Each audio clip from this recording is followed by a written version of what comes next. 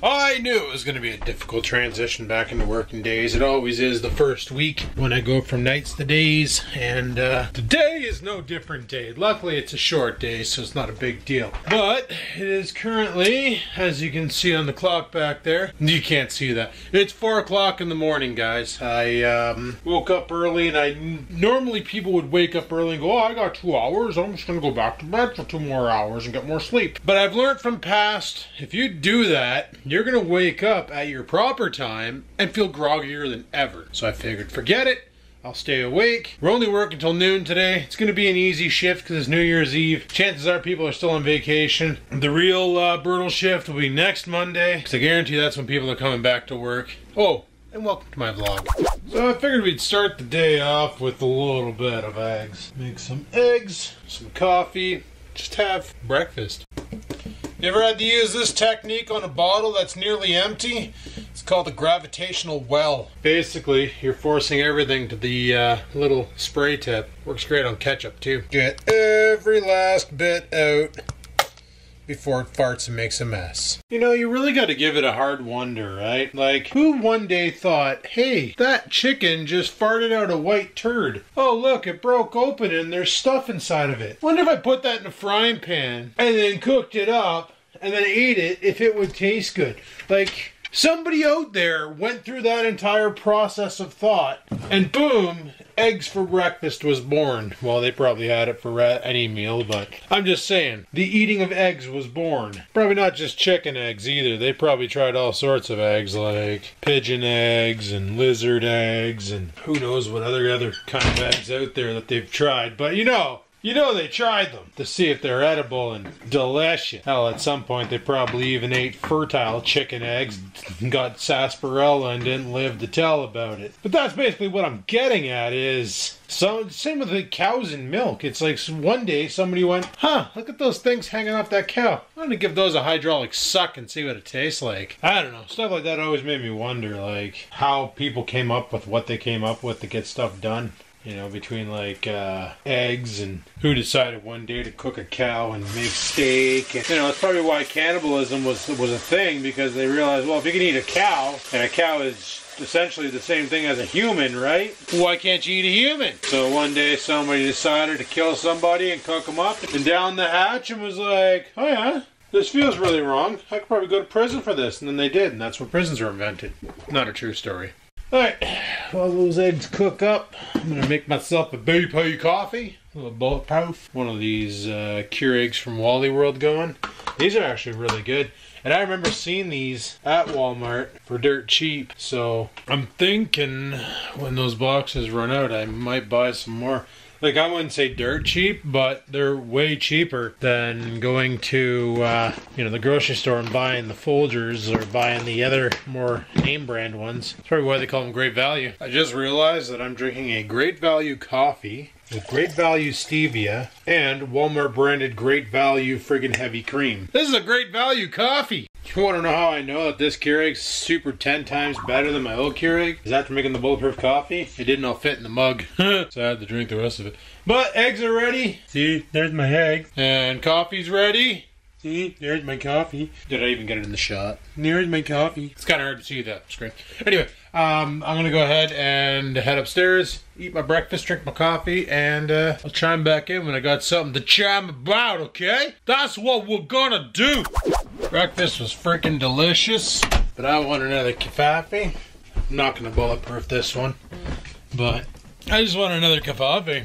I did mention yesterday that I wanted to go to the bank and I didn't go to the bank because I wanted to deposit some cash, some good old Christmas money. Yeah, that didn't get put in the video either, but that's okay. That's a big old, big old nunya. And then I wanted to go to Best Buy to buy that Google Mesh uh, the Wi-Fi system so I can get better Wi-Fi in the house because it's a real pain in the dick when you're down here listening to Spotify on the Google Home and it's cutting in and out because the Wi-Fi is about as stable as nitroglycerin in a paint mixer. And I know people who bought the uh, other branded ones like the Linksys Mesh and the D-Link Mesh and the TP-Link Mesh and they all said it was the damnest best investment they ever did because nowadays these stupid internet companies are giving you a router with built-in Wi-Fi rather than just giving you a freaking modem and letting you supply your own router. Just me or does every Keurig sound like it just had a bad night at Taco Bell, eh? Just starts farting out of coffee. Just gonna restock the water on this thing.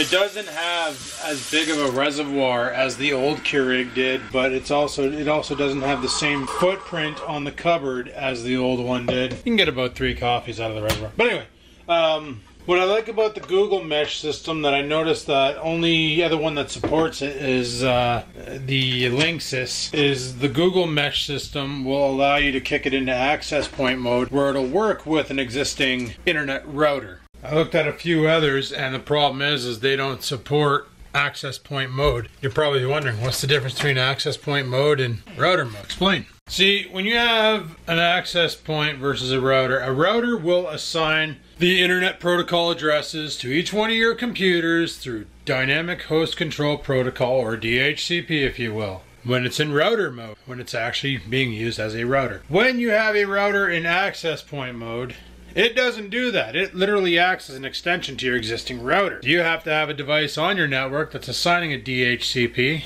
and doing all that work for you. In my case, the Bell router will be doing all that work for me, where the mesh, all it'll do is host the Wi-Fi setup. So you do lose a lot of features. Like apparently this mesh has a built-in uh, antivirus, a built-in cybersecurity, uh, which will basically block known bad pages and you know adware, malware, all that nonsense. Where which is uh, let me tell you, it's actually pretty cool. Like I subscribe to a service known as NordVPN, and what NordVPN does is it generates another IP address so that it's not my home IP address, it's a whole other IP address, and it has cybersecurity built into it as well as some other features. So sites like uh, I don't know, I can't even name off a site, but like well-known bad sites that are designed to put software on your computer and cause problems automatically get stopped at the front door and don't even make it through. This is a damn good thing to have because you want to protect your computers. You don't need to get a virus every five seconds because you clicked on a wrong link on a Google search. It's perfect. It's. I wish ISPs did this, but then if they did that, imagine what else they could block. Oh, we don't want you to torrent. We're blocking everything that involves a torrent. We're just going to start blocking and restricting. Yeah, we can't have that. Can't have that. So the whole reason why I want to go with the mesh system is currently I'm using this old ASUS router. Yeah, I think that's ASUS. I'm using this old ASUS router as an access point. This guy here, it's an RT56. Yeah, it has BGN and AC1200. But the problem is, is it's so freaking old that the signal can barely hit downstairs straight below where it's sitting right now. Like if I take my phone in 2.4 gigahertz mode, I go to the back door, which literally is like right there. Okay, like like right there. I have about two bars on my phone because the Wi-Fi has a hard time getting through the floor and getting through everything. What these wireless meshes do, which is nice, is you put them around the house and they make like a wireless relay system and they'll boost each other, which is friggin' sweet. They have a lot of cool technology like wireless beaming and so on and so forth. So this will resolve my problem of not having good Wi-Fi. And I'm hoping by doing this, it's going to give me good Wi-Fi outside. Because like I said, I want to live stream the whole painting of the car because I think that could be kind of cool. And I'm going to live stream it straight to YouTube, not to Twitch, which I think would be cooler. Mine is going to make for like a long ass video, but it is what it is. So, yeah. Anyway, I just made a coffee. I'm watching some letter Letterkenny, just chillaxing before work. I still got like three hours before I got to be in there, which surprisingly enough, will go by fast. And then I gotta put in four hour shift. And then afterwards, like I said, I'm gonna go to the bank, deposit my Christmas bills, and then we're gonna head over to uh, Best Buy because, uh, yeah, I don't really like walking around with this much cash on me. I already checked with Google to make sure the bank is open today, seeing how it's New Year's Eve. And they opened because of New Year's Eve. 8 a.m. to 4 p.m. I guess bankers need to go home and get their drunk on because tomorrow they be closed. I'm gonna fire up the truck. There will be no driving vlogs as per, um, there are some questions about the whole operating a camera while driving. Sure, you can have one of those dash cams, which, you know, that's fine, but you know, filming a video while driving does probably qualify as distracted driving. So just to avoid any, oh, good stretch. Hey, kitty, just did a stretch. Uh, just to avoid any complications with any obligations of the uh, police participations, I'm going to cease all activities on the driving vlogs and uh, just not bother you know, to avoid any sort of nonsense. So that's gonna happen. But we'll put in our work, then we'll go to the bank, deposit the Christmas money, and then we'll go to uh, Best Try and pick up the Google Wi-Fi. Um, I did a speed test on my Wi-Fi. Now here's a problem I've been having with that router. She's old. I bought that router back in 2013. Uh, before that, I was using this D-Link 8 something. Uh, it didn't have AC, but it was wireless uh, BGN and uh, draft N 150 uh, megabits per second. And it was pretty good. It was a reliable router, did a great job, and just, you know, was able to make the datas do what datas do. And that's just data. Well, when she left, she took the router with her because she bought it, and I didn't have a router at the time. I was using a, an old dirty 601 that would disconnect every two seconds because it was just a big friggin' pile of crap. So what I ended up doing was I went out and bought that Asus router. It's currently going into 2019. That router is six years old and she's pretty much spent, which is why I want to upgrade to the Google Wi-Fi. Now on my current Wi-Fi, I have an issue connecting to the N channel and holding a good reliable connection. It'll connect, hold it for about 10-15 minutes, and then the Wi-Fi becomes unpredictably horrible and starts dropping and disconnecting and speed bumping and, and it's always, uh, well that, that actually I shouldn't say always done that.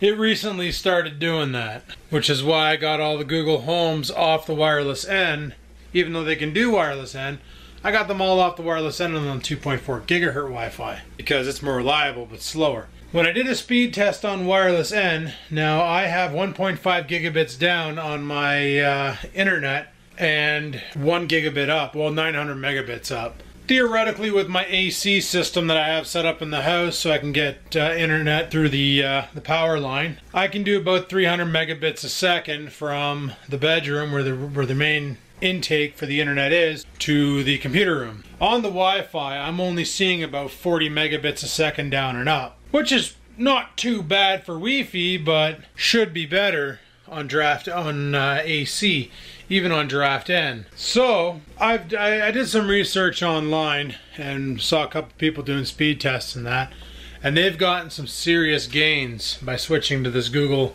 this Google Wi-Fi. Now, one thing I'm going to lose out on is this Wi-Fi only has this is what kind of sucks. It only has one Ethernet port coming out of the back of it, which means I'm going to have to install uh, a switch off of that for upstairs to basically control the uh, like to hook it up to my desktop and actually I might not even need to. I could probably just run a wire right off of it to the desktop. I don't know. We'll see what we got to do to get things did. But um, yeah, the, lots of benefits from it. And what's nice is all of them, all, all the extra pods have two other jacks on them.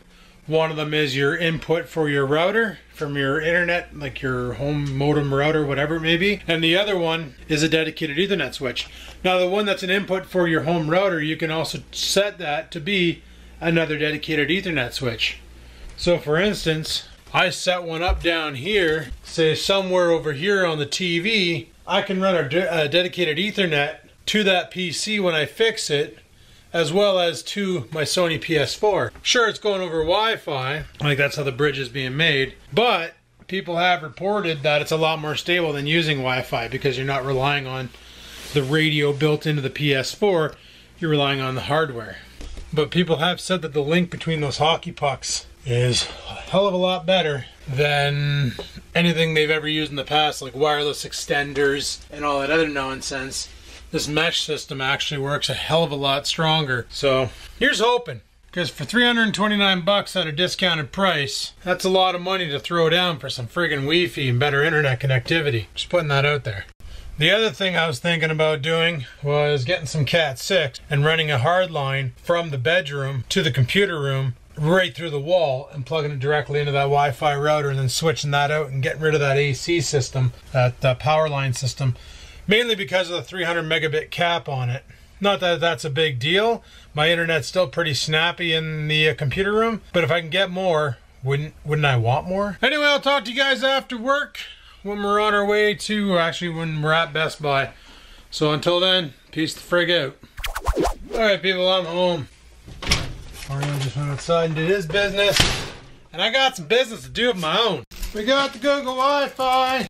He already went to the bank, deposited the cash, and then went over to Best Try, picked it up, and uh, bumped into my parents was there. No idea what they were shopping for, but they were shopping. What we're gonna do, shouldn't have left that running, that's for sure. I need a Coke. I'm gonna grab a Coke, and uh, just gonna sit down and relax for a minute, because uh, let me tell you, the bank was way too busy. Way too many people there. The amount of people that don't pay their bills through web banking amazes me. That actually go into the bank with their debit card and the bill in hand and will pay it at the teller versus investing in a cell phone that can do internet banking. It blows my freaking mind, people. I have a can of Coke. Yeah, it took me about, I got off work at noon, 1.30 now. I think I spent about a half an hour at the bank, and then another half an hour at the friggin' mall, and then another bit of time just trying to get home. A lot of traffic out there for, for New Year's Eve at noon, but we're home. So I'm gonna have some Coke and watch some YouTubes.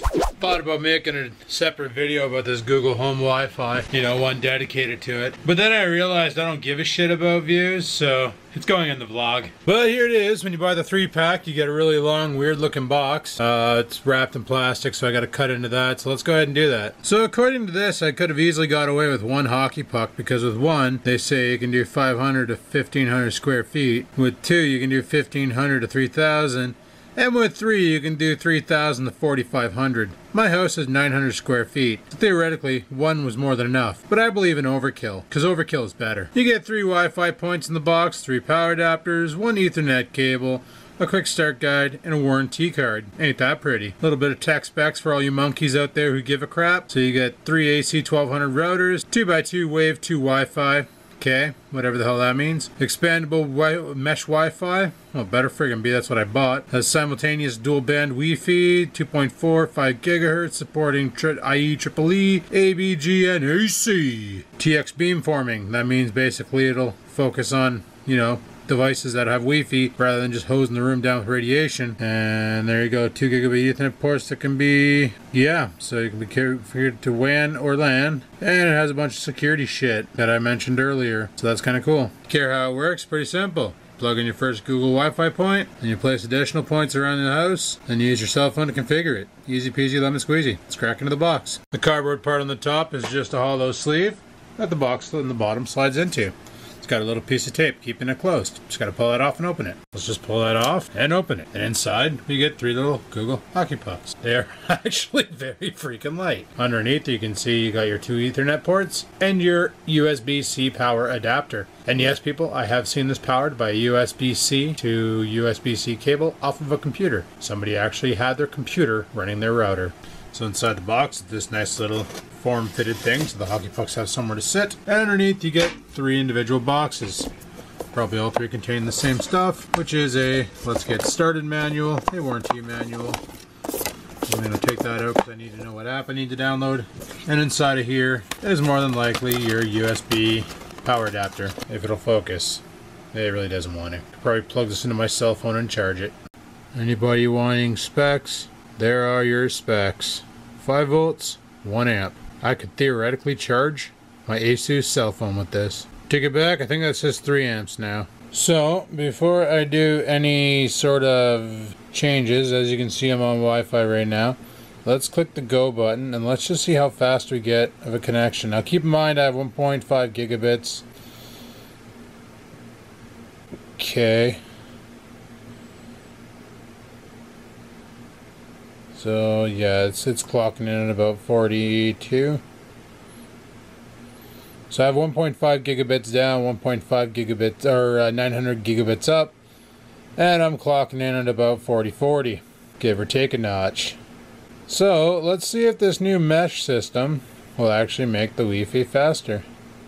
Now keep in mind, oh frig off with the ads. Oh my goodness, is this allowed to be on my channel? Because Google's already putting ads. Is this the definition of double ads? Because this is totally a Google ad on a Google added video with Google ads. But like, keep in mind, my router is just right there. So like, I'm literally sitting right beside the damn thing. So what I'm gonna do is I'm gonna disconnect that one there and hook up this one here and hope for the best. Oh yeah, and to configure all this snaz, you gotta download the Google Wi-Fi app. I forgot to mention that, so you probably should do that because you kind of need that. Alrighty, due to the cable length and all that there, I basically had to set it up over here. And look at that little ominous glow. It's like it's freaking talking to me. So, I got the app all set up here. I don't know what it wants me to do. Uh, no, you're not getting any stats, assholes. And get started. Oh, look. Windows already found the network. Good for Windows. Looking for your devices. It's right there, so you shouldn't have to look too far. This is the second time Google asked if it can have its permission to spy on me. Thank God this button's here. Wow, that's almost mesmerizing.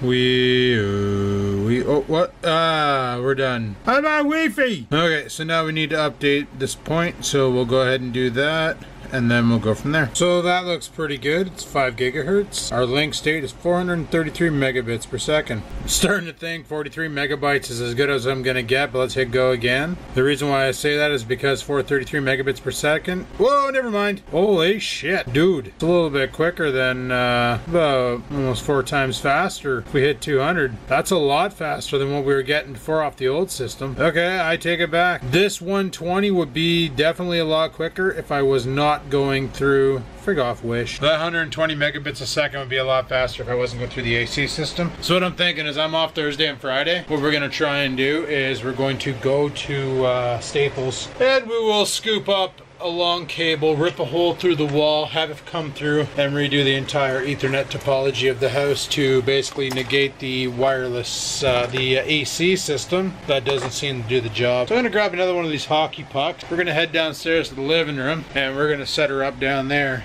and uh, oh man I just realized something. We're gonna have to reset up all the Google Homes because and every single wireless bulb and thing in this house because they no longer know what Wi-Fi to be on. I didn't even think about that. I just created way more work than I needed. Oh well it's something to do. Alright Google Hockey Puck number two. Let's get it set up. Alright yeah I got the upstairs all set up. I got the Google Home set up. I got the Google Hockey Puck set up down here. Now I gotta do redo all these lights the kitchen light and the light outside Let's do this. It's one pain in the ass, but these ones here are easy to set up versus the ones upstairs. They're a little bit more of a pain in the arse. But we're good. So now if I say set living room lights to 5%, you got it. Setting four lights brightness to 5%. Yay, yay. Guess the light bulb outside has a thermostat because it knows it's 25.3 Fahrenheit and it's humid as frig out. My big question is, is how's the Wi-Fi going to be in the garage right now if I go out there with my phone? So obviously I have no signal strength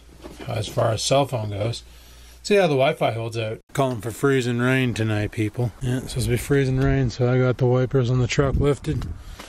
But let's go into the garage here. Turn on some Lumières. Get some brightness. My buddy's still supposed to come pick this thing up. Still hasn't. In the garage with the doors closed. Still getting full bars on the Wi-Fi. Now, keep in mind, I don't think my cell phone supports wireless AC.